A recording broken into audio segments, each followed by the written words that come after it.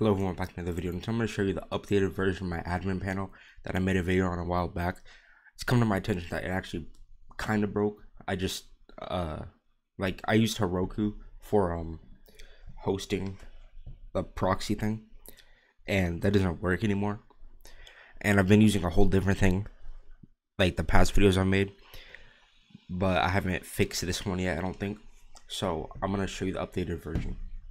So in the link in the description, all you have to do is get this admin panel module or admin panel model, insert it, and then take the admin folder, put it in replicated storage. Take the admin server manager script and put that in server script service. And then you want to open this script right here. And then first for your admins, you want to put the user ID. So you want to go to your, the profile of the person, copy their ID from the uh, from the URL and then put it in the table. And then if you want to add another one, you just put a comma and then another user ID. But if not, you just keep it like that. And now for the URL, uh, you just want to go to your Discord server. Hold on, let me clear this real quick. You just want to go to your Discord server.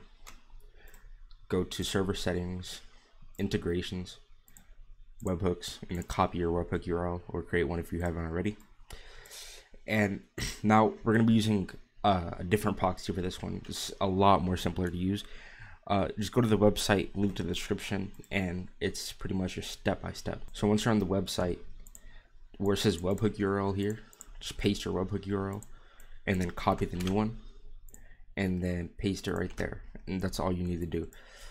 And you can go ahead and click play. And you'll see this button right here which is the admin panel just click that. And then you select players. So i'll select myself uh, reasons slash values. Is where you put like uh, reasons or values. And then you just type test i guess kick. And then you can kick test. And then oh yeah i forgot. You have to have http request on first in game settings. So just go to settings security and allow http requests. And then then it'll start setting the webhooks. Just do the same thing. Test, kick. And now here it says snark, kick, snark for test. Then um I think I have a stat setting thing. So if you enable stats command enabled, I believe, and then go to your and then where it says leader stat folder name, if you set this to the folder name of your where like your stats are set, and then you set the stats with the value and then click the set stat button it'll set every value in there. That's a number value or integer value to the value you set. So that's also pretty simple.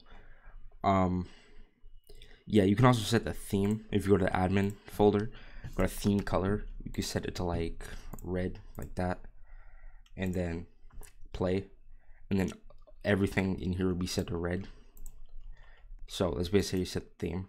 It's pretty simple.